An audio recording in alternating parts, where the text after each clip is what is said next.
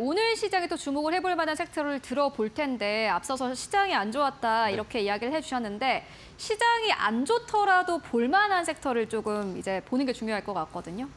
어, 일단은 오, 늘 같은 경우는 봐야 할 섹터가 IT 부품 쪽, 특히 휴대폰 섹터 관련돼서 좀 말씀을 좀 드려볼 수 있을 것 같습니다. 특히 이제 두 가지 좀 뉴스가 좀 나오고 있는데 일단 뭐 삼성전자 폴더블폰 관련된 뉴스들이 좀 계속해서 나오고 있다라고 좀 말씀을 드릴 수 있을 것 같습니다. 특히 이제 삼성전자 같은 경우는 이제 반도체 메모리 업황에 대한 사실 우려가 좀 상당히 큽니다. 이에 따라서 3분기 실적에 대한 우려가 좀 벌써부터 나오고 있는 상황인데요.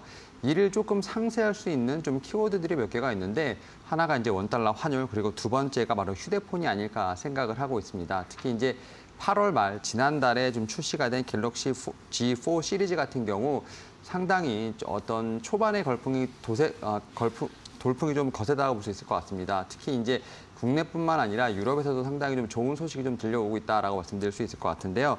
특히 이제 국내 사전 예약 판매량 같은 경우는 일평균 14만 8천 대를 좀 기록을 하면서 이미 지금 이제 갤럭시 시리즈 가운데 가장 세고 아, 가장 높은 기록을 좀 달성했다 보이고요. 특히 이제 유럽에서도 상당히 좋은 소식이 좀 들려오고 있다라고 볼 수 있을 것 같습니다. 특히 이제 독일 베를린에서 열리는 지금 유럽 최대 가전 전시회죠.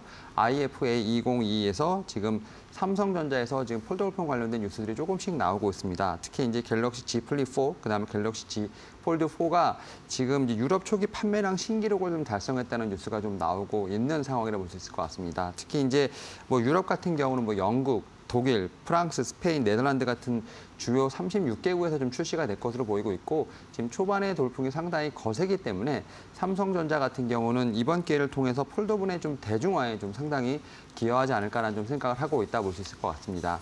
그리고 이제 두 번째로는 이제 아이폰 관련된 뉴스들도 상당히 많이 나오고 있는 상황인데요. 특히 이제 아이폰 관련된 통계들이 조금씩 나오고 있습니다.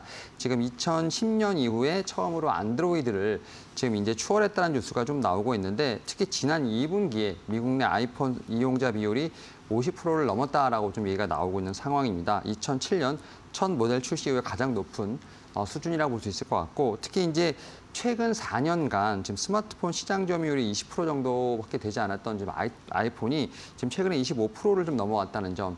결국 이제 최근에 어떻게 보면 안드로이드 휴대폰 사용자들이 아이폰으로 넘어가고 있는 상황이라고 볼 수 있을 것 같은데 이러한 상황에서 아이폰 14가 7일 이제 수요일 미국 시간으로 지금 이제 어떻게 보면 공개가 되죠. 특히 이제 아이폰 14 같은 경우는 신제품 발표회에서 네 종류가 좀 나오게 될 것인데요. 아이폰 14, 그다음 14 플러스, 프로, 그다음에 프로 맥스가 좀 네 종류가 좀 출시가 되고 있고 여기에 상당히 많은 기업들, 우리나라 기업들이 좀 참여할 것으로 보이고 있는데 뭐 대표적으로 LG 이노텍이 아닐까 생각을 하고 있습니다. 특히 이제 후면 카메라, 핵심 공급을 좀 하고 있다라 볼수 있을 것 같고 여기에 지금 이제 우리나라에 좀그 TOF라고 하는 3D 센싱에 지금 하이비전 시스템까지 좀 들어간 상황이기 때문에 우리나라 기업들의 좀 수혜도 분명히 예상된다 말씀드릴 수 있을 것 같습니다. 그런 측면에서 봤을 때 지금 폴더블 폰, 아이폰 결국 이제 이 두 어떤 키워드가 이번 주 내내 좀 시장에 대한 어떤 키워드가 되지 않을까 생각을 하면서 이번 주 같은 경우는 IT 부품, 휴대폰 섹터에 대한 공략을 한번 해보도록 하겠습니다.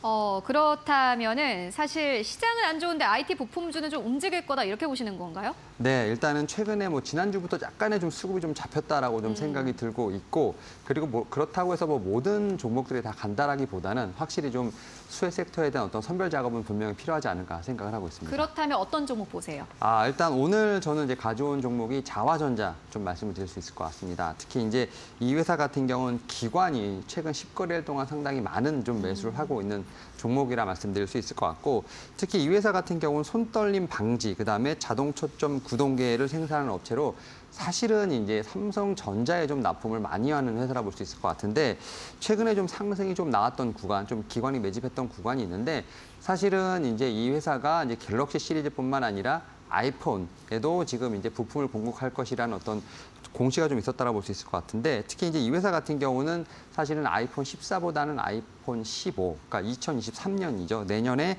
아이폰 15 프로 모델 부품 공급사로 지금 선정이 됐습니다. 이에 따라서 지금 최근에 구미에다가 지금 약 한 1,900억 정도의 좀 거금을 들여서 지금 이제 애플 부품 공장을 좀 설립할 계획을 좀 가지고 있다라고 볼 수 있을 것 같습니다. 결국 이제 이 회사 같은 경우는 사실은 올해보다는 어떤 내년을 준비하는 회사라 볼 수 있을 것 같고 사실 뭐 신규 공급에 대한 어떤 어떻게 보면 고- 고객사가 새로 생긴 것이기 때문에 이러한 부분에서 매출에 대한 확대는 분명 예상된다 말씀드릴 수 있을 것 같고 특히 이제 올해보다 내년 같은 경우 매출액이 한 5,200억 정도가 되면서 사실은 뭐 올해 대비했을 때 75% 이상의 좀 성장 예상된다 볼 수 있을 것 같습니다. 결국 이제 이 종목 같은 경우는 올해보다는 내년에 대한 어떤 성장세를 봐야 되지 않을까 생각을 하고 있는데 이미 지금 아이폰 14가 좀 출시가 될 것이라 예상이면서 사실은 조금씩은 움직이고 있다라고 볼 수 있을 것 같습니다. 이에 따라서 회사 같은 경우는 뭐 2013년 내년 하반기에 대한 뭐 영업이익, 영업이라든지 매출액에 대한 초점을 갖고 있습니다만 저는 뭐 단기적인 트레이딩을 봤을 때도 충분히 지금 구간에서 공략할 수 있는 어떤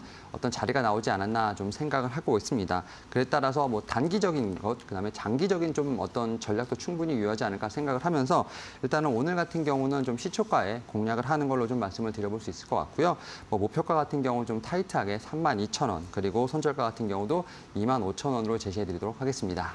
네, 알겠습니다. 자화전자에 대한 투자 의견 듣고 왔는데요. 최근 IT 부품주들의 수급을 잘 살펴보면 수급이 들어오는 종목도 있고 완전히 외국인과 기관이 빠져나가는 종목도 눈에 띕니다. 근데 그중에서도 자화전자의 경우에는 기관이 10거래 연속 매수 흐름을 나타내고 있는 상황이니까요. 우리 시청자분들 함께 체크해 보시면 좋을 것 같습니다.